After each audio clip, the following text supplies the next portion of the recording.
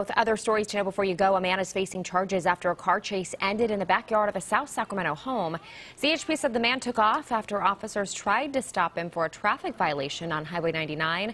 They said he crashed through a fence on 41st Street and then hid in a backyard shed, leading to a standoff. He's now being charged with evading police and being a felon in possession of a weapon. And I'm Rachel Wulff with what you need to know before you go at Folsom Lake. Look at the dam water just pouring out. Well, we have a new plan that's going to help save some of that water. It's a plan to raise parts of the dam. Now, Folsom Lake at 116% of its historic average.